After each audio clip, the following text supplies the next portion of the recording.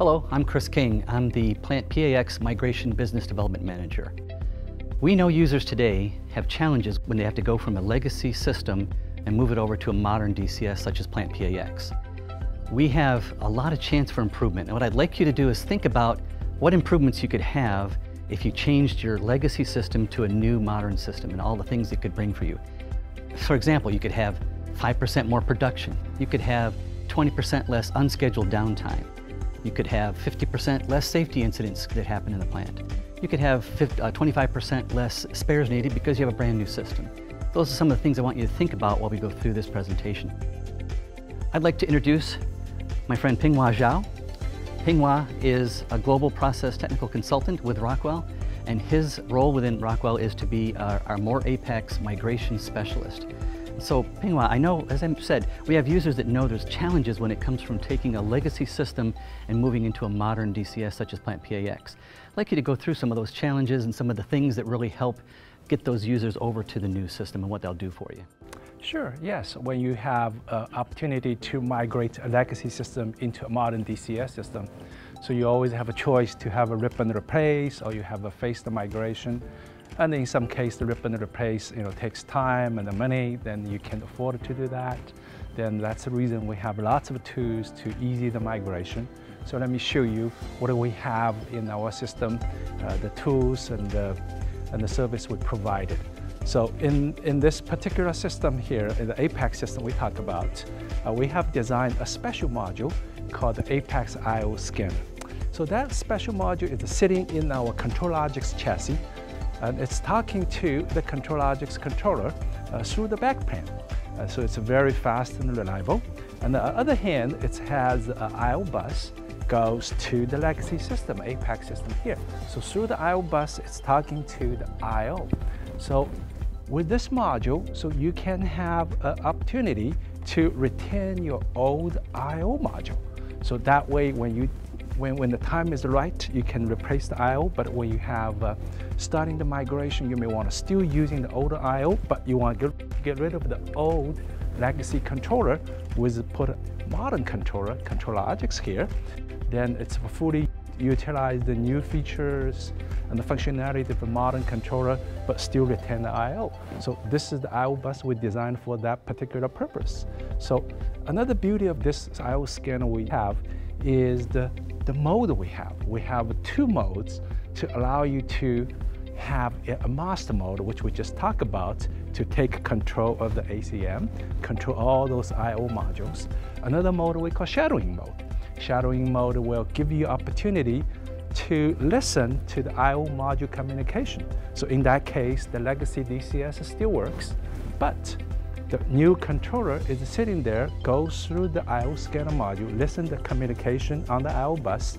So you can have your new converted logics running in this controller. And at the same time, feed those information, your converted logic and the I.O., the older legacy I.O. into historic, do a comparison.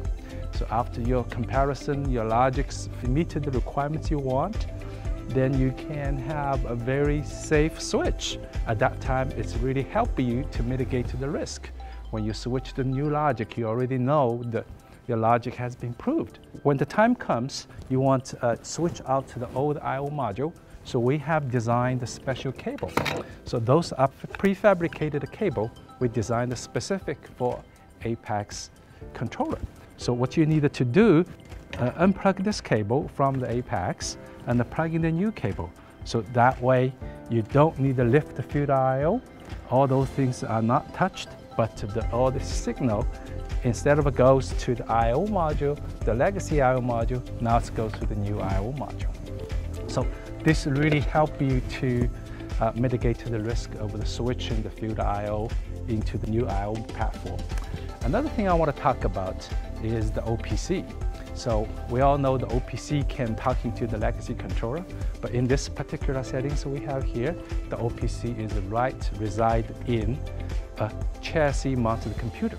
So in this computer, you run the OPC talking to the legacy system. On the other hand, through the backplane, it sends information to a Logix controller.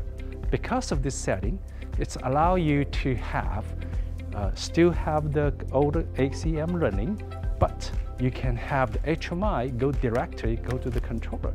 So the benefit of that is allow you to have new graphics, which is our PlantPAx process library object. So this is the graphics I'm showing here. So you can see the legacy DCS system uh, still working there, but the display will be the uh, new PlantPAx process object. So this is really help you to cut your cost to develop the graphics twice. Uh, that way, when you fully transfer to the new controller, then you don't need to redevelop your graphics again. And of course, if you want, you still can uh, still maintain the OPC and uh, running the OPC directly to the legacy system. So in this particular example we have here is uh, using the old legacy uh, faceplates, but it's still on the FactoryTalk View uh, platform, but we're using the old legacy uh, faceplates. So the operator, when they switch into the new system, they still have a period of time, have uh, help them the easy transition.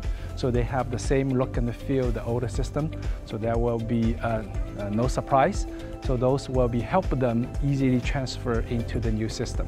So Chris, those are the tools and the service we provided to our customer to uh, help them to the migration. Excellent. Well, thank you, Pinghua. Um, one thing, I really love the, uh, the hardware features that we have to help for migrating from one system to another.